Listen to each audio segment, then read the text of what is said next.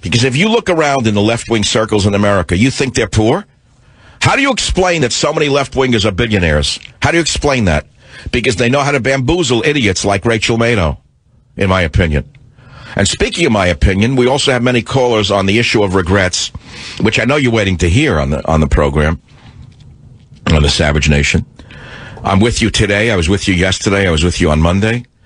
Donald Trump was on the show again, disavowing the KKK smear. And you know what was amazing? They did it again last night. People who should be arrested for what they're doing. You know, I agree with them. There should be libel lawsuits against guys like Jake Tapper, in my opinion.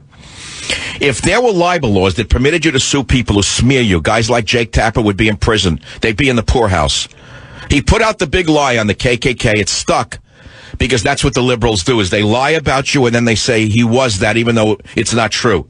And he never retracted it.